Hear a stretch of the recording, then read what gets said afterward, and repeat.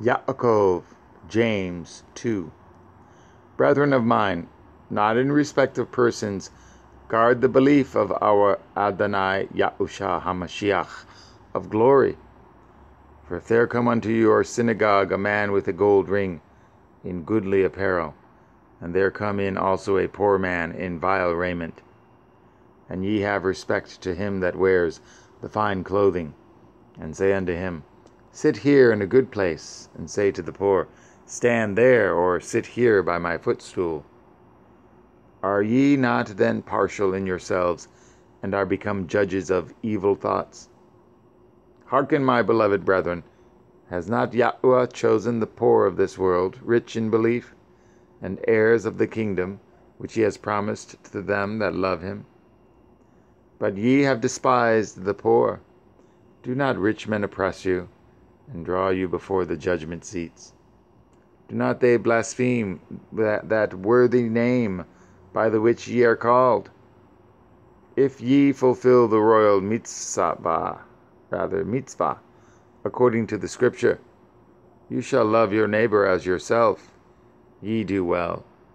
But if ye have respect of persons, ye commit sin and are convicted by the Torah as transgressors.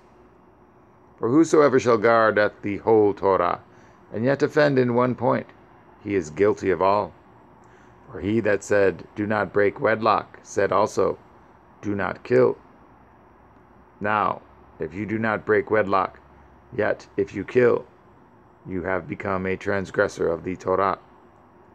So speak ye, and so do, as they that shall be judged by the Torah of liberty for he shall have judgment without mercy, that has showed no mercy, and mercy rejoices against judgment. What does it profit, my brethren, though a man say he has belief, and have not works? Can belief save him? If a brother or sister be naked, and destitute of daily food, and one of you say unto them, Depart in peace, be ye warmed and filled, notwithstanding ye give them not those things which are needful to the body. What does it profit? Even so, belief, if it has not works, is dead, being alone.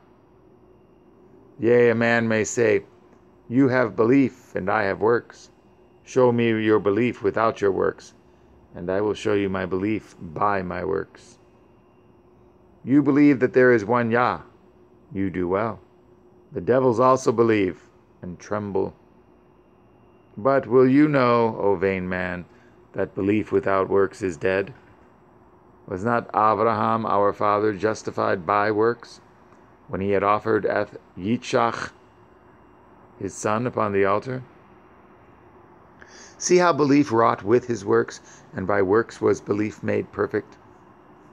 And the scripture was fulfilled, which says, Abraham believed Elohim, and it was imputed unto him for righteousness, and he was called the friend of Elohim. Ye see then how that by works a man is justified, and not by belief only. Likewise also was not Rechav, the harlot, justified by works when she had received the messengers and had sent them out another way. For as the body without the Ruach is dead, so belief without works is dead also.